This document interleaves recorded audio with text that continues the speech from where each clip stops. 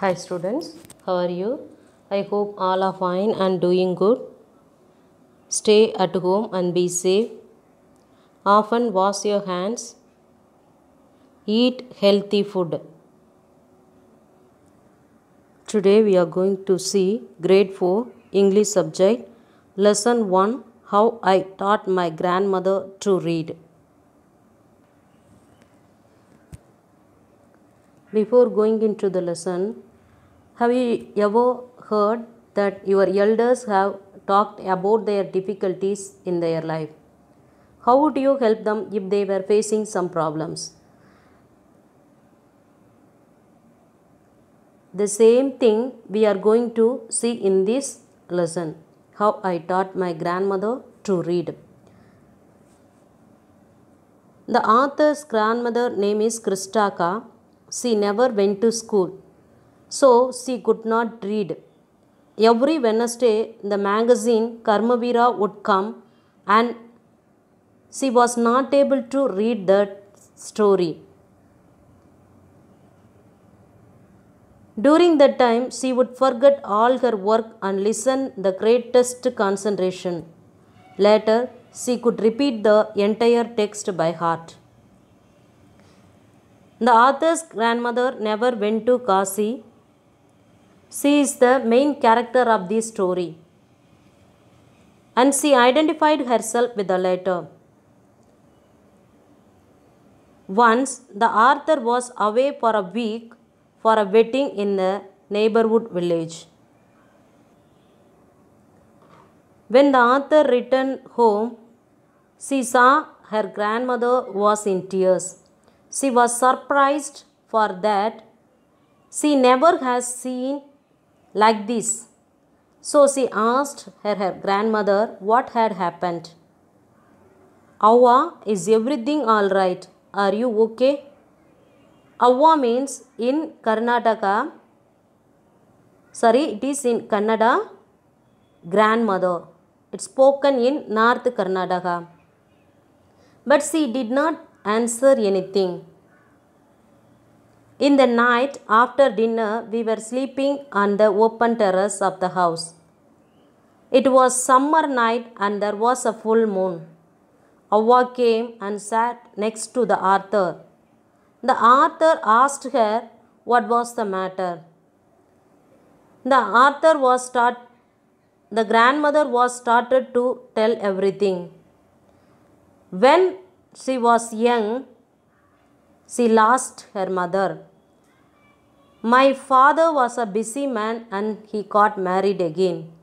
In those days, people never considered education essential for girls. So, she never went to school. She got married very young and he had children. She became very busy. Later, she had grandchildren and always felt so much happiness in cooking and feeding all of you. At times, the grandmother used to regret not going to school. So, she made sure that her children and grandchildren studied well. She could not understand why this 62 year old grandmother was telling this to a 12 year old girl. It was unhappy and her eyes were filled with tears. Awa don't cry. What's the matter? How can I help you? Yes, I need your help. I have decided that I want to learn the Kannada alphabet from tomorrow onwards. I will work very hard. I will keep the Saraswati Puja day during Dasra as the deadline. That day I should be able to read a novel on my own. I want to be independent. Here, independent means not depending others. I saw her courage on her page, yet I laughed at her. Awa, at this 62 year, you want to learn the alphabet? All your hair is grey, your hands are wrinkled, and you, you wear spectacles and you work so much in the kitchen. Don't make fun of it. You can't, like that she was telling. But the grandmother told, Surely I will learn. So she started to take the lesson. The amount of homework she did was amazing. She would read, repeat, write, and recite. I was her only teacher and she was my first student.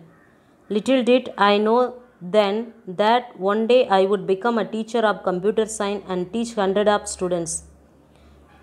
During the Dasra festival, secretly she bought Kasi Yatre, which had been published as a novel by that time. My grandmother called me to the puja place and made me sit down at, on a stool. She gave me a gift of rag material. Then she did something unusual. She bent down and touched my feet.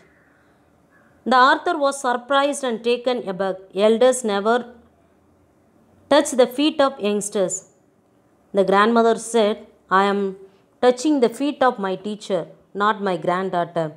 A teacher who taught me so well with so much of affection that I can read any novel confidently in such a short period. Now I am independent. It's my duty to respect a teacher. I did return namaskar to her by touching her feet and gave my gift to my first student. She opened it and read it immediately the title Kasiyatre by Triveni and the publisher's name. I knew then that my student has passed with flying color. Like this way, the author taught her grandmother to read and write. Students, today we learn lesson 1 how I taught my grandmother to read. This much time we have learned about it. We learned fully the summary I said in English only. For your convenience I am going to tell in Tamil. This, uh, this is for sometimes only. After that you have to learn fully in English. Okay. Here